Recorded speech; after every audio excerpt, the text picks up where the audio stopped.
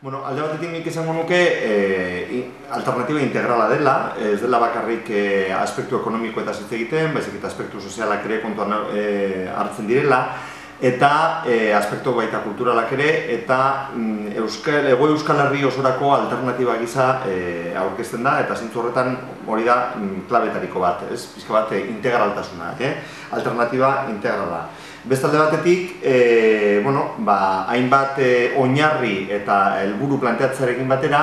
e, proposamen konkretuak edo e, bueno, e, alternatiba hori garatzeko e, norabide konkretuak ere e, marrasten dira. Ez. Hori da pixka bat nire ustez, e, hori dira e, klabe nagusiak, gero sartu gaitezke atalez atal e, zer dagoen e, atal bakoitzen. Bueno, e, krisi, krisia definituta dago, eta bueno, pizka bat lan honetan e, definitzen den bezala, ez da bakarriki krisi ekonomiko bat edo krisi finantziero bat. E, argi dago, e, krisi sozial bat ere, e, krisi sozial batean ere, bagaudela murgilduta, eta hor e, egin den diagnostikoaren, ara, diagnostikoaren arabera, e, ikusten da, mm, enpresa edo pizkat indar empresarial, indar finanziario, indar kapitalaren e, aldetik e, planteatzen diren e, neurriak ez dutela konponduko edo e, krisi hori, baizik eta krisi hori sakontzera bueno, pues, sakon, sakonduko dute e, ondorio bezala eta zuzenduta daudela e, ba, enpresa hundien etekinak e, ba, pizkat loditzea, ezta? Planteatzen dena da, ba, horri alternatiba orokor bat eman behar zaiola eta horregaitik e, planteatzen dira ba, or, oinarri, oinarri batzuk, demokrazian sakontzea alde batetik, buru jabetza ekonomikoa ezinbestekoa dela e, bueno, beste alde batetik hainbat neurri eta hainbat e,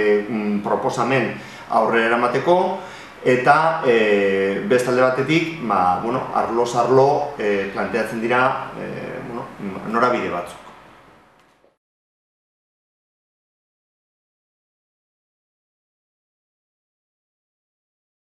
Bueno, e, alde batetik, esan dudan bezala, buru jabetza ekonomikoa edo buru jabetza izatea nahiko, tresnak, tresna nahikoak izatea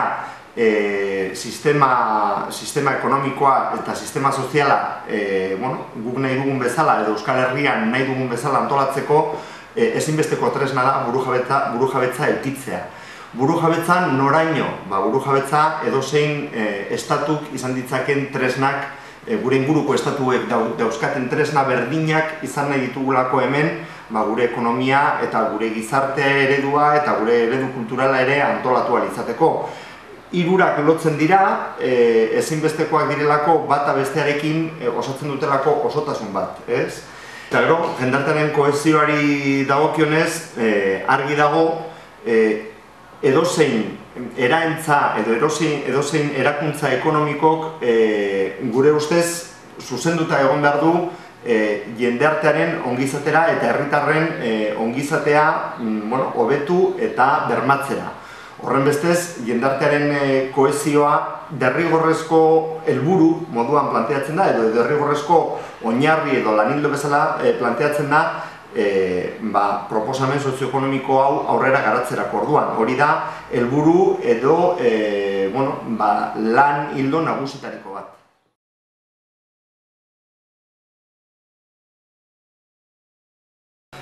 Bueno, adibide askotan gertatzen dela da, gaur egun e, ikusten ari gara, ostiralez ostiral, nola Madrildik e, hartzen diren hainbat neurri ekonomiko murriz, murritzaileak e, gizartearen edo jindartearen e, eta herritarren ongizateari eta eskubideei zuzenean e, e, bueno, eskubide horietan zuzenean e, eragina duena neurri murritzaileak eta e, bueno, babes, babestuta daude edo nolabait neurri horiek hartzen dituztenean nolabait estatuaren boterearen babesean hartzen dituzte, ez? Gu planteatzen duguna da alde batetik e, gaurdanik eta gaur daukagun erakuntza instituzional eta politikotik hainbat e, neurri desberdinak, ez? gaur egun daukagun ereduari alternatiba alternatiba erekitzen hasteko neurri hainbat neurri har daitezkela, adibidez ba, ondakinen kudeaketarien ereduari dagokionez, e, inguru giroaren e, trataera, e, bueno, mm, pixka bat, hortik abiatu gaitezkela, baina argi dago beste neurri batzuk hartzeko planteatzen den bezala, ba, banku publiko, publiko bat, e, solidarioa, e, bueno, nolabait herritarren zerbitzura ere ikitzeko, behar bada beste tresna batzuk ere behar ditugula, buru, buru jabetasun maila handiago bat edo buru jabetasun maila gorena. Gure energia, energiaren eredua e, bueno, ba, ordenatzerak orduan, e, beste neurri batzuk, babes sozial eta e, esparru, euskal esparru, lan esparru eta babes sozialerako esparrua, lan harreman esparrua eta babes sozialerako esparrua mm, antolatzerak orduan, gaur egun daukagun, baino e, botere edo buru maila handiagoak behar ditugula derrego.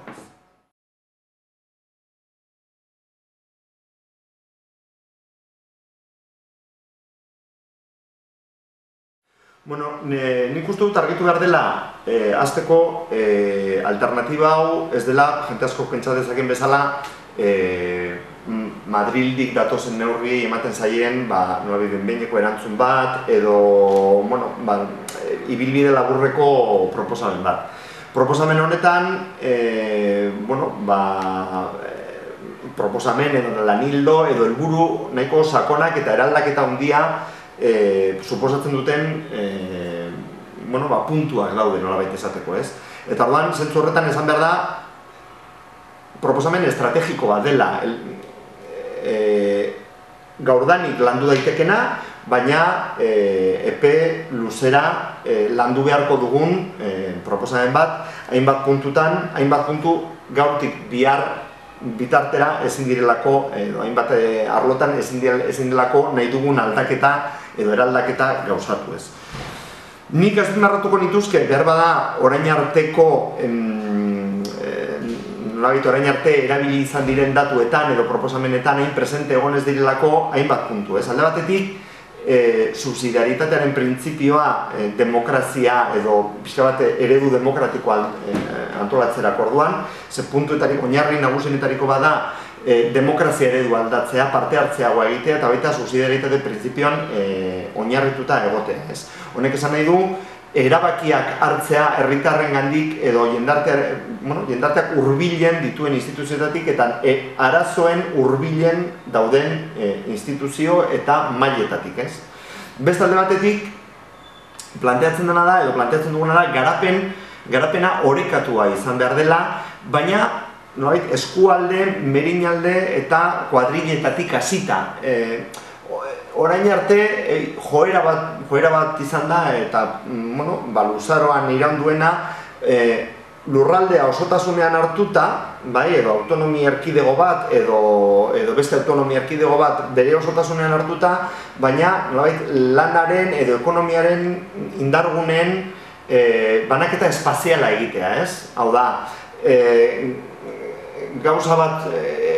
eskualde batzuk mm, espezialitazatu egiten dira ekonomiaren arlo batean, beste batzuk bestean, eta orduan gero bat trukaketa bat egiten da. Ez guk, ez guk plantetzen duguna da, alik eta horrekatuena izan behar duela eskualde, kuadrilla e, eta, bueno, berin aldetatik hasita, ez? Beste berrikuntza bat, naiz eta orain arte presente egon izan den, ba, hainbat e, mugimendu eta herri mugimenduetan izan da e, subiranotasun, e, elikadura subiranotasunarena, ez. E, zinbestez horretara jo behar dugu, horrek ez du esan nahi eredu autarkikoak planteatzen ditugunik, baizik eta e, orain arte lehen sektorea iaia ia, desagertze bidean dago Euskal Herritik, e, nekazaritza, e, abeltzaintza, bueno, sektore hori iaia ia, desagertzea dago e, Euskal Herriko hainbat eskualdetatik eta planteatzen duguna da hori berreskuratu egin behar dela eta e, joera bat izan behar dugula hurbiltzeko alik eta gehien e, elikadura, e, elikadura subiranotasun e, horretara ez.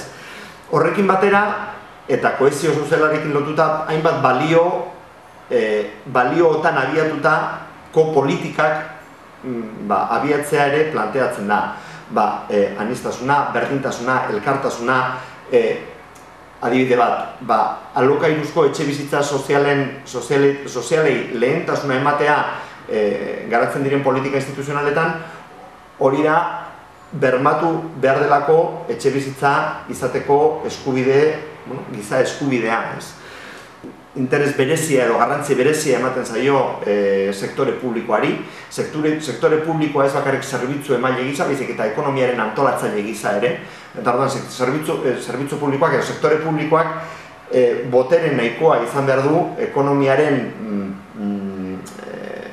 oinarri edo zutabe garrantzitsuenak e, behar bezala antolatzeko hemen behar den e, ba, bueno, ba, ekonomia eta garapen, nahi dugun garapen eredua bultzatzeko behar diren sektoreak antolatzeko.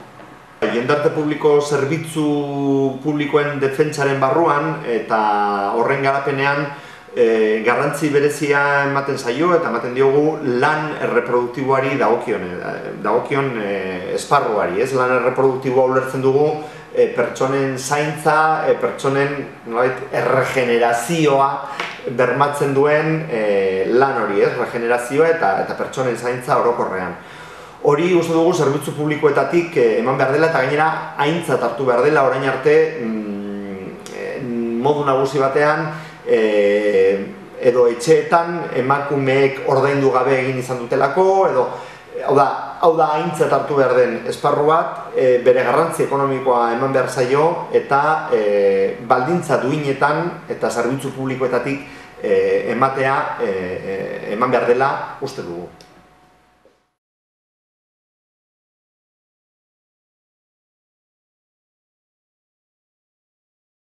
Bueno, e, lau jardun eremu planteatzen dira, alde batetik e, arlo no, ekonomiko, finanziarioa, krisia, krisi nolabait ekonomikoa oari aurre egiteko eta bueno, eredua aldatzeko e,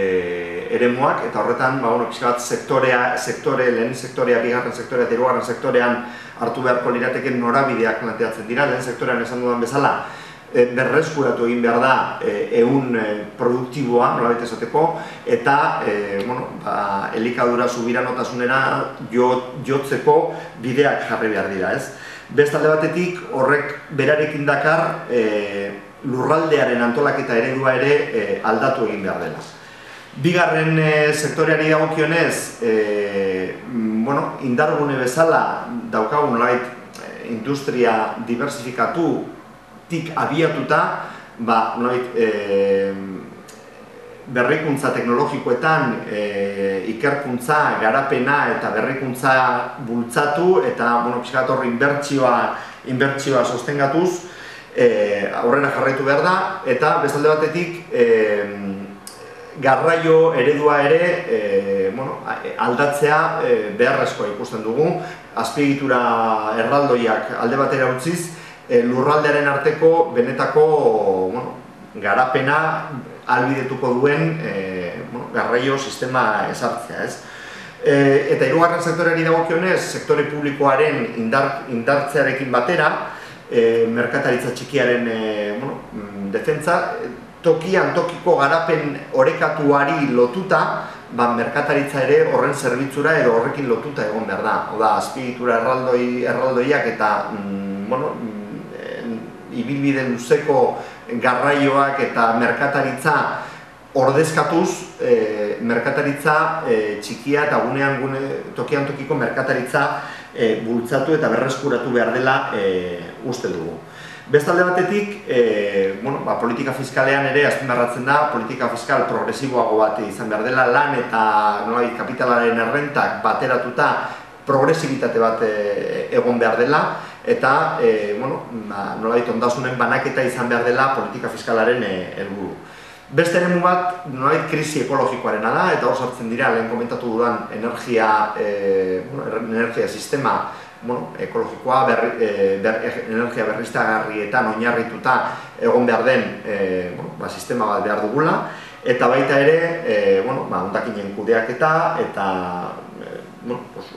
hori komentatu dudan e, zer hori baliabide naturalei eta eta bioanistasuna ere kontutan e, izan behar dela, ez? Beste batetik krisi, krisi sozialari aurre egiteko demokraziaren e, nolabait berrikuntza planteatzen dugu, e, demokrazia parte hartzailea eta bueno, sozialitate printzipioan oinarritutakoa baina e, baita ere, ba, bueno, el, e, langileen e, eta gizarte eskubidei aurre egingo dion e, sistema eta hor ba, bueno, osasun publiko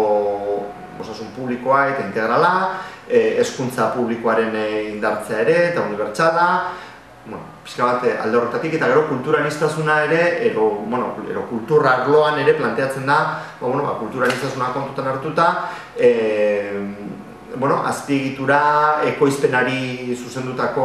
bueno, mm, e, zuzendutako politikak indartzea, e, bertan, e, bueno, bertan dauden indar kulturalen e, garapena bermatuko duena, eta, bueno, pixka bat horiek dira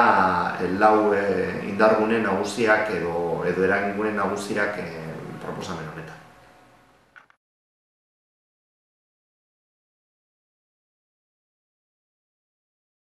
Bai, noski, ba, bueno, alde batetik e, alternatiba ezagutarazteko ekimen, ekimen, hainbat ekimen ja e, bueno, planteatuta daude. E, maiatzaren hogeita bian e, hitzaldi bat egongo da batzar nagusien e, aretoan, baina horrez gain e, sektore desberdinekin, e, ez bakarrik sektore ekonomiko desberdinekin, baizik eta e, gizartea edo indartearen e, bueno, hainbat mugimendukin ere, harremanetan eh, harremanetan gaude, bueno, alternativa hau e, ezagutarazteko, ahalik eta e, indar metaketa gehien emateko mm, alternatiba honen inguruan. Esan behar da, alternatiba ez dela gauza itxiba bezala planteatzen, ez da dokumentu itxiba planteatzen, baizik eta, bueno, orain arte lortutako konsentsutik, kontsentsutik, lau alderdin artean lortutako kontsentsutik aurrera, kontsentsu berriak eta adostasun berriak e, lortu nahi dira eta alde horretatik ba, bueno, ba, irekia dago e, osatua izateko, mm, garatua izateko eta e, gero noski horren arabera ero honen aritik e, segurazki hainbat proposamen hasiko gara garatzen aurrerantzean e, alternatiba honi lotuta bilbori dagokionez e, zuzenduta baipatu dudan e, bueno, arlo guztietan, ez? E, bai arlo publikoan, zein, e, zein arlo ekonomikoan, zein bueno, zerbitzuen arloan eta bar.